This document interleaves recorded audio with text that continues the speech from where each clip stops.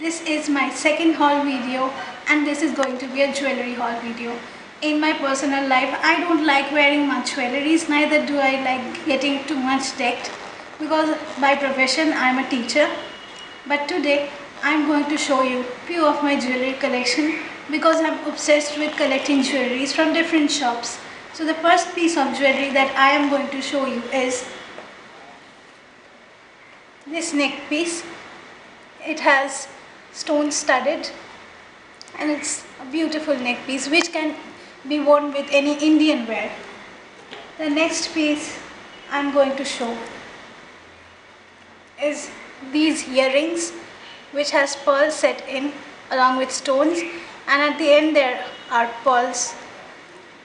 The third piece is this hair clip which has stones studded all over it. The next piece which I'm obsessed with is my bangle.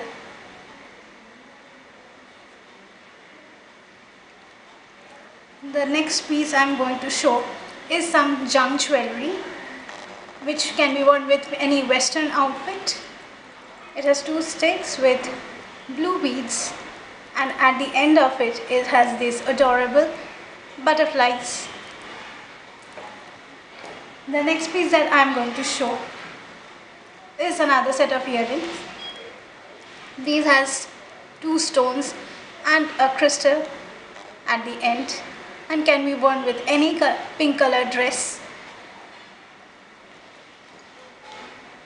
The last piece that I am going to show is my favorite one.